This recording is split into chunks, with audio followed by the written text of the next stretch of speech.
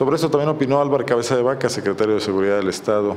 La posibilidad de que haya un mando único ya se está en algunos municipios estableciendo.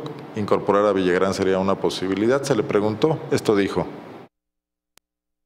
Esperemos que las autoridades de Villagrán atingentemente atiendan el asunto y que haya ese ánimo de responsabilidad de los policías para no dejar a la población sin protección. Sin embargo, si llegara a ser el caso, por supuesto que la Policía Estatal estará al pendiente para que no quede ninguna población en desprotección. ¿Establecer el mando único ahí en este municipio? No, no, no, el alcalde no lo quiso.